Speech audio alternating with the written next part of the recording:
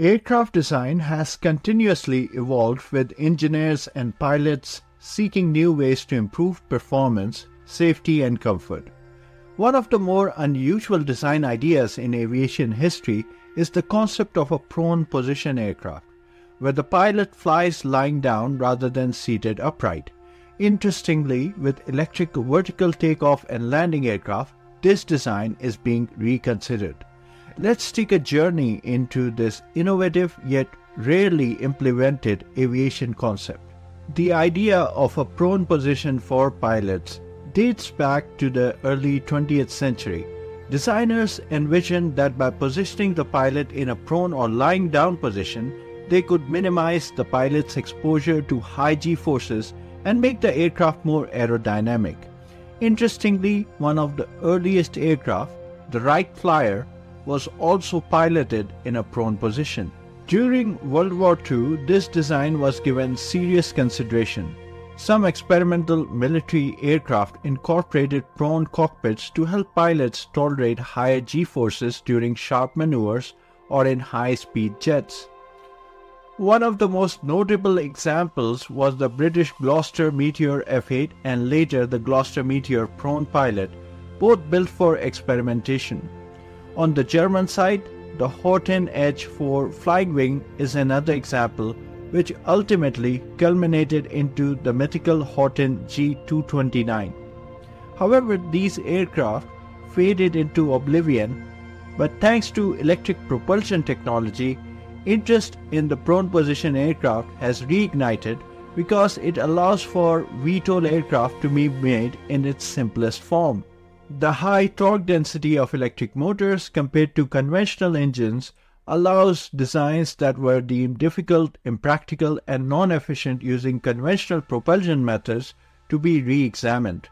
Coaxial configuration of propellers is one such example. Despite the known benefits, the coaxial props were difficult to achieve because of the complex gearing requirements. Now each propeller in the coaxial configuration can be attached to an individual motor. Because of electric propulsion, it is easier to have multiple propulsors, that is, distributed propulsion. The recent interest in prone position aircraft was kicked off by NASA.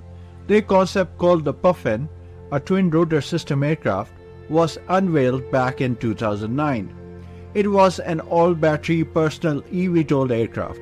For the first time, the world caught a glimpse of how electric propulsion might transform everyday flight. In 2010, according to one website, the first eVTOL aircraft flown was the NASA's Puffin subscale eVTOL tail-sitting aircraft. The concept design was projected to be capable of flying a single person at a speed of 150 miles per hour, with a range expected to be less than 50 miles or 80 kilometers, with 2010 vintage lithium iron phosphate battery technology. The design specified a 4.1 meter wingspan, standing 3.65 meter tall on the ground in its takeoff and landing configuration.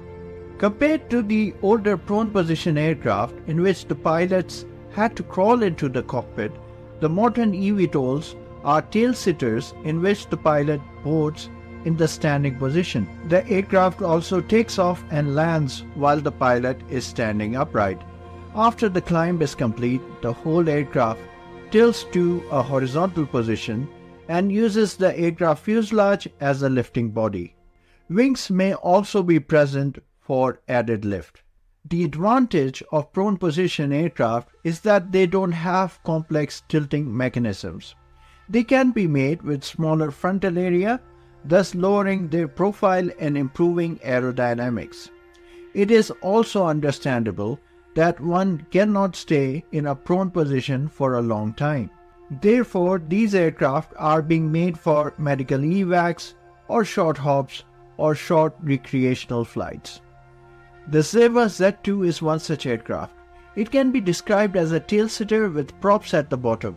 The sleek design gives it a top speed of 160 miles per hour, which is far quicker than any other personal eVTOL and it does that without tilting propulsion system or lift plus cruise arrangement.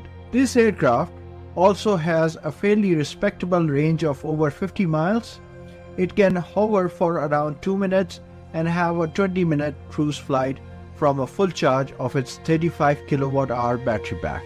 Another aircraft being developed is the JA-1 by Jump Aero. It can be described as a biplane standing tail-sitter.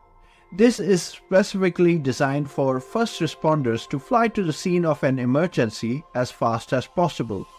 The aircraft can reach any destination within 50 kilometers in less than 10 minutes. It's got a payload capacity of 150 kilograms, which allows one paramedic with equipment. It has also got 8 independent and cross-linkable 11 kilowatt hour batteries. The last aircraft worth mentioning is the Verti Electric Volpire GF. It is a tail-sitter with an X-tail biplane. It has four electric propellers and each propeller has five blades with bent prop tips.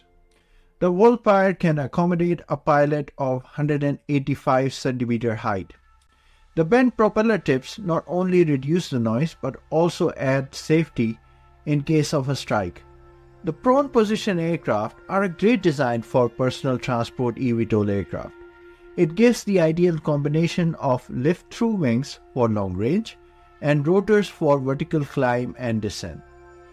To achieve tilting controls for horizontal flight, at least four props are required. And with this, the video is concluded. If you learned something from it, then please do give it a thumbs up. Thank you for your attention.